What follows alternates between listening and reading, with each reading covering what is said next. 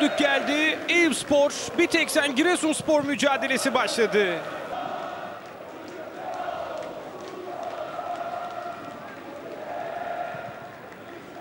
Caner Erkin topun gerisinde.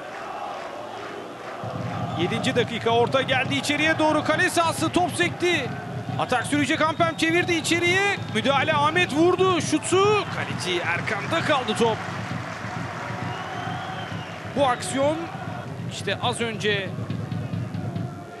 ceza sahası içinde yaşananlar. Faruk oyunu hareketlendiren isimdi. Orta alan. Regaten bir faal düdüğü.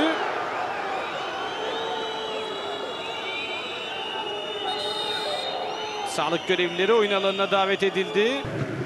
Caner geldi, yaptı ortasını kale sahası, kafa vuruşu arka bölüm dışarıya. Dışarıya gitti top. Net fırsat kaçtı Robin Yalçın. Çok önemli bir fırsatı değerlendiremiyor Eyüpspor. Robin Yalçın ortası uzak bölgeye doğru Regatan vurdu kaleci. İkinci hamle savunma. Yine etkili geldi Eyüpspor. Regaten gitti. Regaten geçti. Regaten yerde kaldı. Karar penaltı. Adrian Regaten yerde. Maçın hakemi.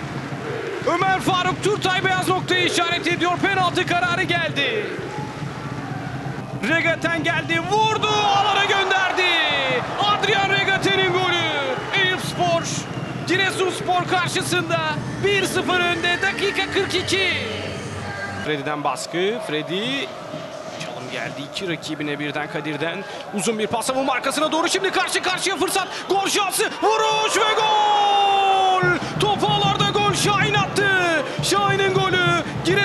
Giresunspor deplasmanda durumu 1-1 yapıyor.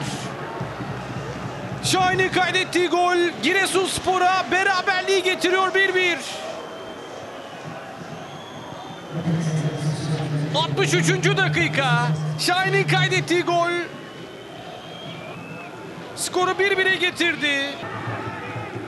Caner topun gerisinde işaret geliyor. Caner Erkin ortasını yaptı. Kaleye doğru doğrudan Caner! Caner Erkin! Caner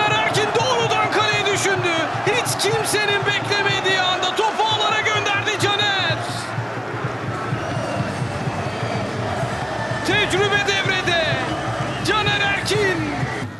Caner taçı kullandı içeriye doğru kafa vuruşu geldi arka bölüm Freddy Freddy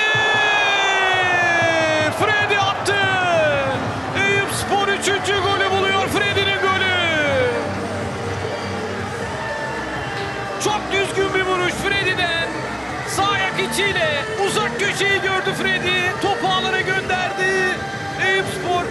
golü buluyor Freddy ile ve son düdük geliyor değerli izleyenler.